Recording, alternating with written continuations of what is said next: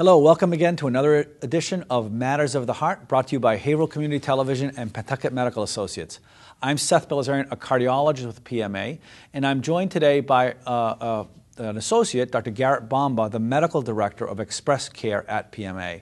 And I'm very fortunate to have Dr. Bomba. He's been uh, with Express Care for a year and a half. Uh, the program has been with us. He's a board certified emergency room physician, and he's brought some new services and some new approaches to what was previously an urgent care program, now an express care, which is sort of halfway between urgent care and emergency care. Um, I'll let him elaborate more on that. But uh, today I asked Dr. Bomba to talk about uh, seasonal uh, questions of health. And uh, we titled this show Bugs, Burns, and Barbecue to be alliterative and uh, Dr. Uh, Bomba tells me that he sees a lot of these problems that I was hoping he could teach me about, and I'm sure the audience would be interested in. And that's mosquito bites and ticks, poison ivy, sunburns, and maybe some other topics will come up, but those four mainly.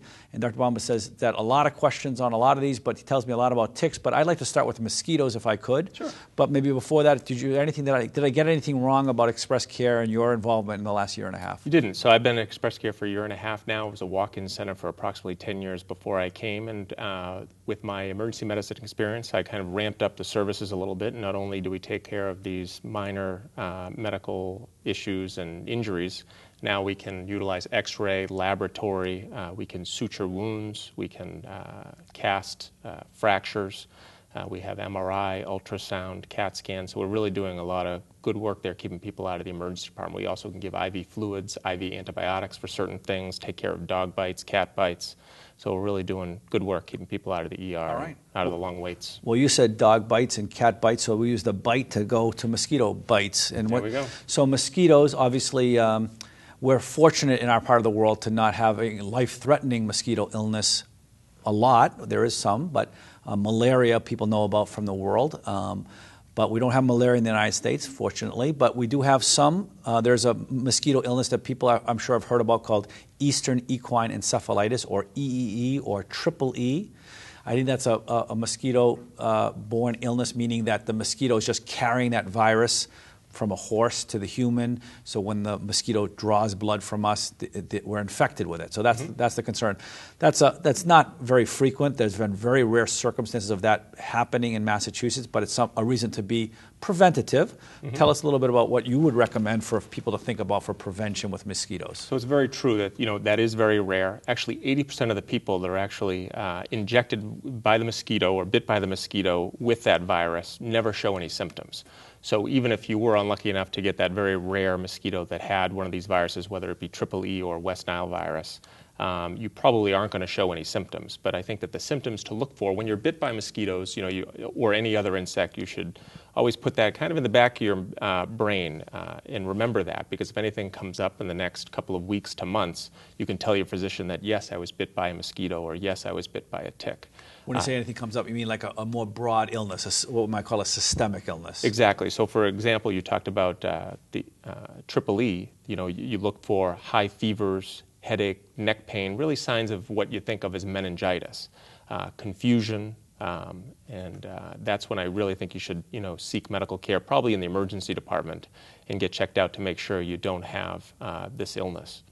Okay, so that's mosquitoes. Let's talk a little bit about what people can do, either children or adults can do for prevention. What, what are some recommendations there? So, of course, the summer is the big time where people are getting bit by mosquitoes, and some people, you know, can react pretty badly to mosquito bites. Some people are very allergic to them; they get big welts. I think that the the number one thing that you should do is uh, avoid being outside if you can, from dusk to dawn. If you can't do that, wear um, insect repellent. I think DEET is the big one, D E E T.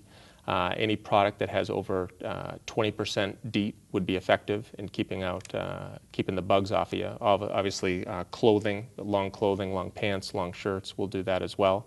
I think if you go on the CDC website, which is a very good website, by the way, if you have any questions, uh, recommends that the, the DEET uh, that you do have in the product should be between 20 and 50%, and anything after 50% DEET uh, is really not that much more preventative. So um, anything between 20 and 50 percent is good. Okay, so that's mosquitoes. Mm-hmm. So let's talk. Move on to the next topic that you told me off air that a lot of attention is given to ticks. They are. I think people are frightened of ticks more than zombies sometimes. All right. Well, zombies are pretty nerve wracking too. They but, are. but let's just focus on ticks for the show. We'll, Okay. do, we'll do a show on zombies at another time. So let's talk about ticks. So let's just break it down. Um, you know, I'm at home. A parent or, or an adult for themselves is worried. Let's just take uh, maybe a simple one to start with. I find a tick crawling on me or my, my beloved child. Mm-hmm. What do I need to do? Do I whisk them into the emergency room? What should I do there? No, if, if you find a tick just crawling on your child and it hasn't bit yet and you can't find any bite mark, I would just remove the tick from your beloved child, flush it down the toilet, or bring it outside if you don't want to kill an animal, or an insect, I should say, and, uh, and then be done with it. Now, the, the problem is when you actually found, find that tick embedded in your skin. And a lot of people have a lot of anxiety about this. Um, I have fr- So, so embedded in the skin, let's just be clear, it means that it's, it's, it's adhered. You, you, you touch it, it's not moving, it's stuck. Exactly. So it's so it's actually bit you and it's holding on to the skin. Okay. Um, that's when you need to be concerned because now you know that there's a potential of transmission of certain bacteria from the tick into your into your body. Yeah, so the, the analogy, we just talked about how the viruses that are the mosquito carries is it's not really the mosquito that was doing the bad work, it's the virus. The, the, the mosquito doctors call a vector, it's just the carrying it. Exactly. So this is the same idea. The mosquito is actually carrying something that is potentially going to car- give us an illness that we're worried about. Of course, the illness that everyone has heard of is called Lyme disease. Yes, Lyme disease would be the big one. So, but ticks themselves, you know, they're a nuisance, but then themselves aren't really a big to do. They're not. No, no. Very rarely do those bites become infected. Uh, people typically don't have too much of an allergy to the bite.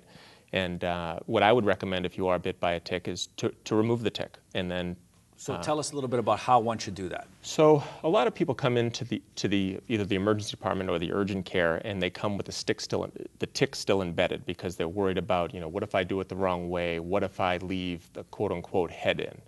Um, if you're bit by a tick, what I would recommend doing is uh, taking a pair of tweezers if you have them. Tweezers would be the best. Getting it down as close to the head of the tick or closest to your skin as possible, and then just pull, remove the tick, and then after people do that, I also see people coming into the urgent care saying, "Well, I've done that part. The head is still in there. Can you please get it out?" So the CDC recommends that any part of the tick that's left within your skin be left there. It's not going to cause a problem. It's not going to increase your risk of Lyme disease or any other uh, bacteria that uh, you know ticks carry, and it should just fall out on its own, just like a small little splinter, and it shouldn't be a big deal. So a lot of the people, uh, you know, want us to dig around for that, and we just leave them alone. We tell them to clean the area with alcohol after they remove the tick, and everything should be okay.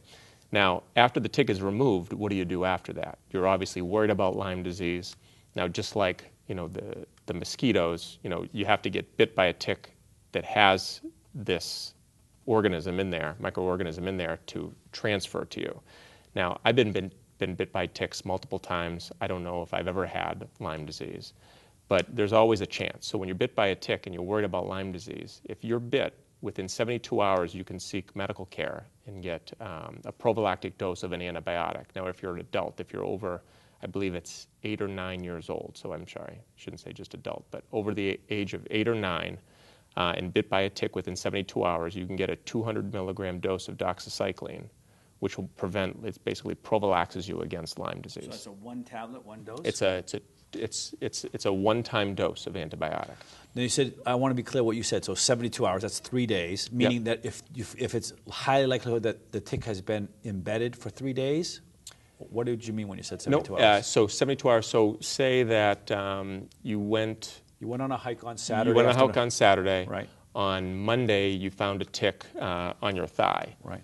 You were indoors the rest of the, the weekend because it was pouring rain. So you got it on Saturday. You show up by Tuesday. We're within that 72-hour window that we assume the tick could have bit you at first, and then you can get that prophylactic dose Okay. Now, I'm, at one point, the recommendation, and correct me if I'm wrong, is that the likelihood of Lyme is very low if you have high degree of confidence that the tick has been embedded for less than 24 hours. Um, I think it's 40. It could be 24. I thought it was 48 hours. That's very true. But um, So to use the analogy on the Saturday hike, if Sunday morning while taking a shower you discovered the tick, you're clearly within a 24 hours. Your likelihood of Lyme is very low. To just try to reassure that there are some things, getting the tick off earlier is really a good thing to do. very true. Okay. And then talk a little bit about there's a reaction. You mentioned with mosquitoes there may be a reaction on the skin. Mm-hmm. Of course, any bug bite, we've, we've had some kind of a foreign body on our skin. People worry about different kinds of rashes and reactions that might signal something serious or not serious. What, what kind of things can people say, I can wait this out again with regard to the tick reaction? over to the uh, coming over to the studio today, I actually had a phone call from a friend up north uh, who asked me exactly that. I, ha- I, think I was bit by a tick two days ago. I have this rash on my ankle. What do you think? So I'm actually going to see him tomorrow, so it's going to so, be easy. So this reaction on the ankle for this example you're saying, is it local to where the tick was or somewhere remote to where the tick was? Local to where the insect was. He's Okay. not exactly sure if it was a tick or not. Okay.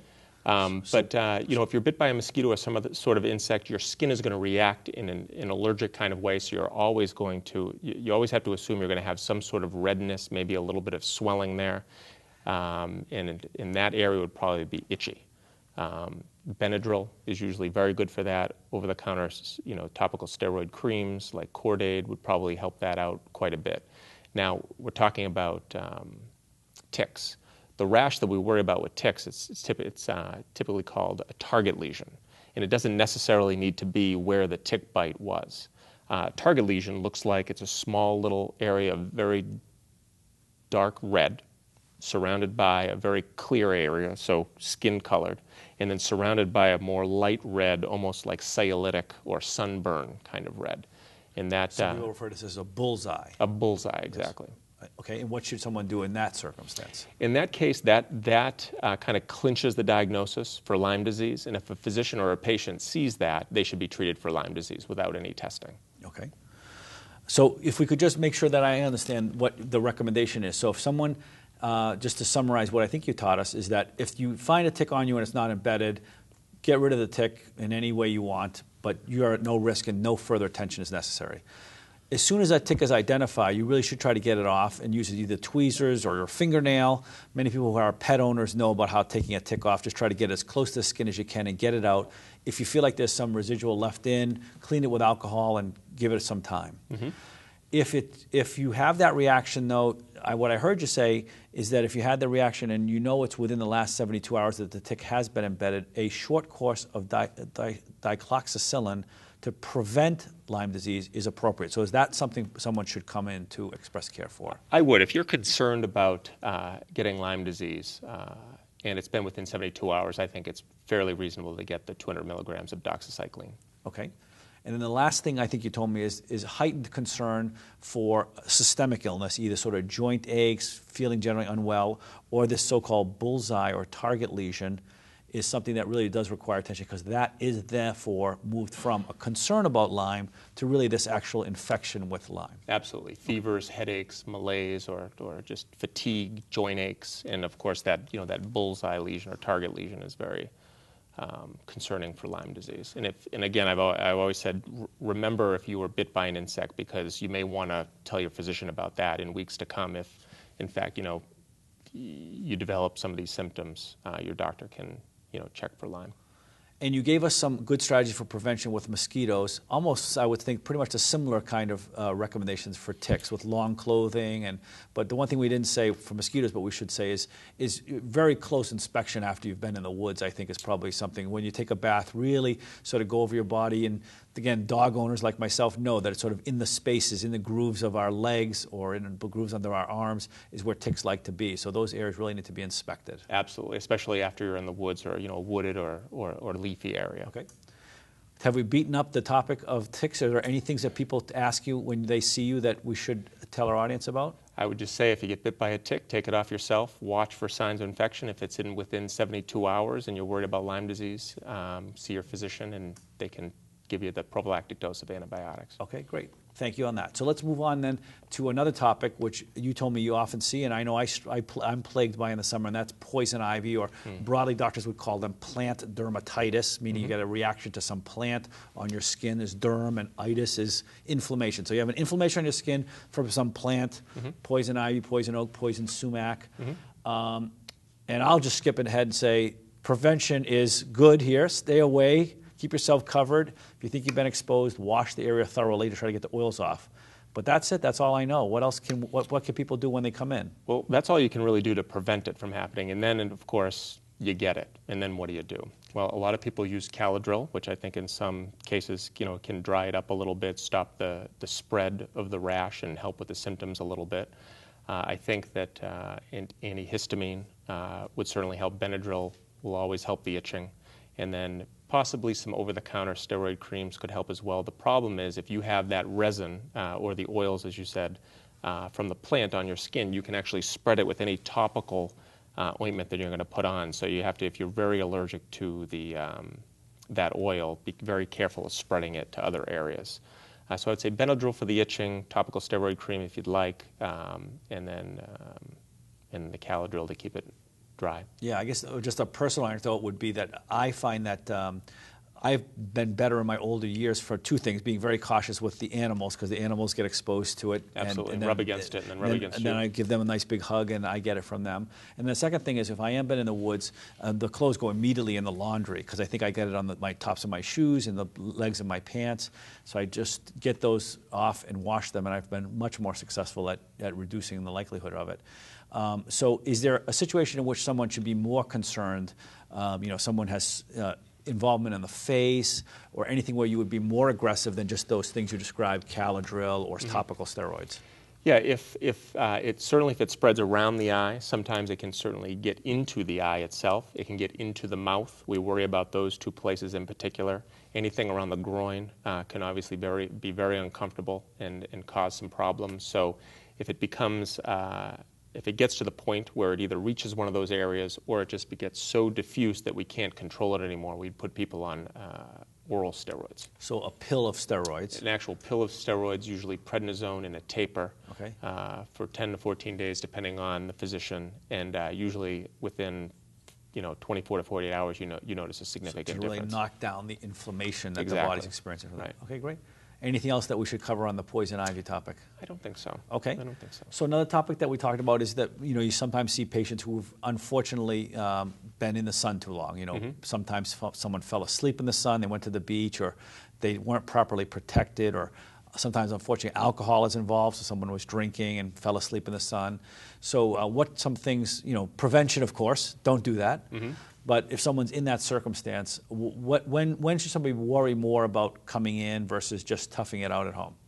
Well, I would talk about prevention first. You know, if you know you're going to spend the day outside on a, on a sunny day, and even a partly cloudy or a cloudy day, those UV rays, I mean, that's what we're worried about, those UV rays are still going to come through that cloud cover. So I would say 30 minutes before you get out or you start your drinking or whatever you're going to be doing, uh, apply uh, some sort of sunscreen.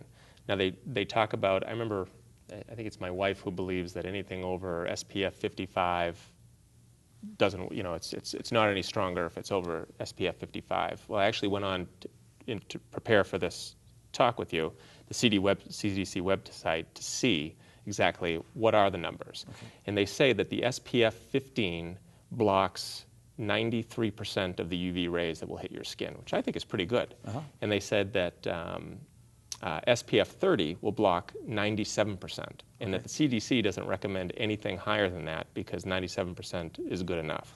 Now, anecdotally, I would say when I go on my vacation in January and I'm white as a ghost and I sit outside, uh, you know, by the pool, I will get burned if I don't have, you know, whatever the 90 or whatever I'm wearing, that uh-huh. the highest dose of uh-huh you know, uh, sunscreen that I could possibly have. But they say 30 is, is good enough. They say to um, apply it every two hours. More, of course, depending on the activity you're doing, uh, perspiration or being in the water is going to limit the effectiveness of it. And we were talking about mosquitoes before. Uh, if you apply uh, an insect repellent along with your sunscreen, believe it or not, the effectiveness of the sunscreen is going to be reduced significantly by the, uh, the insect repellent. So remember that and apply more often if you're using both at the same time. Okay, so prevention obviously is in all areas of medicine. We want to emphasize prevention, mm-hmm. but someone didn't do it or forgot or didn't do an effective job with prevention. Mm-hmm. Just get really red and uncomfortable. What's some things that they can do for comfort? But take it beyond that in your in your comments about when should someone worry about you know uh, uh, something more serious? At what point is this something that might require something more than just um, local measures? Sure. So sunburns are typically just superficial burns. Uh, sunburns are just you know a fine erythema. It's uncomfortable. It feels you know a little uncomfortable when you touch it. Um, where you can you can use, believe it or not, ibuprofen, simple ibuprofen or Tylenol uh, will do wonders for some of the discomfort. You know, I'm, I'm, there's a multitude of over-the-counter medications that you can use, from you know aloe gels to uh, anesthetic gels that you can put uh, on the skin to help with the discomfort. Uh, certainly, keeping any open wounds uh, clean. Uh, making sure you're hydrating yourself enough because you're going to lose a lot of fluid through any type of burn that you have uh, is very important. So I would say it's pretty much comfort measures um, and making sure that you stay well hydrated. Then you go into a little bit more serious of a burn when you get blisters. A lot of people come in uh, to the emergency department or the express care and they have uh, these large blisters. Now, this is more of a partial thickness burn. It's gone a little bit more than just the, the superficial epidermis. Um, and uh, that needs to be treated a little bit differently in that you really need to stay hydrated. You need to push fluids because you're losing a lot of fluid through those blisters that are forming. And those blisters are at high risk to become infected, so you have to make sure that that uh, you watch them very closely. So if they become more red or they get some like pussy, purulent material, they should really then seek attention for those. Absolutely. Okay, great. Anything else that we should cover on sunburns? Not that I can think of. No. Okay, all right. So um, you did skip over at the beginning, we briefly mentioned the dog bites and the cat bites and other animal bites, and I'm sure those happen more frequently, I'm guessing, in the summer months. Mm-hmm. Well, what kind of things, well, again, assuming that someone doesn't have something that's a gashing wound that's bleeding that might need some kind of treatment, mm-hmm. um, well, let, no. Let's talk about those. So, okay. Some, so, okay. I like gashing. Yeah, like yeah. Well, I was going to I was going to say that that was clear, but I don't think it's clear because I immediately thought that, that there has been in, traditionally some controversy about the management of a large dog bite wound. So maybe you can just tell us about that. There are. So so if you have a very large if you have a bite wound from any type of whether it's human, cat, dog, porcupine, you, you know. The, mouths of these animals are fairly dirty. They have a lot of bacteria in there, and you need to treat the wounds to make sure that these wounds don't become infected. It's an extreme example of what we were talking about with the mosquitoes and the ticks. Right. But the problem is those animals only have one germ. We have thousands of them in our mouths and dogs similarly. So it's, it's, it's multiplied as a risk. Absolutely. So with any bite, you certainly want to uh, wash the wound very well. The problem with cats is that cats' teeth are almost like needles. Uh, needles. Yeah. So they almost inject the bacteria into the skin, skin heals over, traps that bacteria in there, so the infection spreads much more quickly and much more aggressively under the skin. So people get in a lot more trouble with cat bites, believe it or not, than dog bites, where your skin is actually torn and the bacteria has a chance to just uh, come out as you know the, the wound heals, heals and things bleeding. Up, yes. Exactly. Uh-huh. Uh, so typically, what I would do if somebody was bit by a dog, the general rule would be not to suture it up because you don't want to, just like we talked about the he- skin healing over, you don't want to suture up bacteria that's buried in the skin. The larger these wounds are, obviously, if you have a flap of skin hanging off, you know, your lower leg, you need to tack that down. We typically do you know, wash it out as well as we can, and we'll put in some very loose sutures, or what we'll do is do a delayed closure. We'll refer them to maybe a plastic surgeon, depending on where the area is, and say, we'll put you on antibiotics for a couple days. We'll let this wound start healing a little bit, get that bacteria out of there, and then we'll close it up when we think there's no more risk that there's going to be an infection. And of course, you know, tetanus status is very important. You want to make sure that your tetanus is up to date. You want to make sure that the animal that bit you is up to date on all its shots, including rabies, of course. Uh, and if the, uh, the animal is not up to date on its shots, as long as it can be watched for 10 to 14 days to make sure that it doesn't have any abnormal behaviors that would uh, suggest that it possibly could have rabies. Um, and, uh, and that's about it. So you did mention uh, this issue that uh, I recall from years past about the cat bite or scratch and mm-hmm. the potential risk? What should somebody be mindful of if they felt like they had a cat bite? What symptoms should they be mindful of over this ensuing one to two weeks? I, the cat bites that I see are generally, I mean, granted, I, I, see only people who are having troubles, but I would say if you're bit by a cat that was fa- a fairly deep bite, or you think it was a fairly deep bite, I think you should seek medical attention. I think that wound needs to be cleaned out with pressure. Usually, use a little syringe and try to push fluids in there to flush it out a little bit. Sometimes we even make a little incision Uh, will numb you up, of course, first, and then make a little incision and get that fluid in there to get that bacteria out of there. And we always like to put people on a prophylactic dose of antibiotics at least for five days to make sure that an infection doesn't set in. You know, a lot of the times with cat bites specifically, we see them on the hands, and it's unfortunate the hands have all kinds of fascial planes underneath where these bacteria can kind of grow along underneath the skin very quickly. So somebody could get bit one day, and a day later they could have redness all the way or pain up to their elbow. So uh, I think it's important to be seen quickly for these bites. Well, this was really a great review, but at the end, I'm realizing that. Uh, we just made summer not a very fun sounding uh, Sounds season. pretty dangerous. Yeah, let's just stay home and watch TV. No. That's definitely not the message of today's program. But I want to thank uh, Dr. Garrett Bomba from uh, PMA Express Care, who reviewed some seasonal ideas on our program today called Bugs, Burns, and Barbecue. We didn't get to the barbecue, so that would have been fun.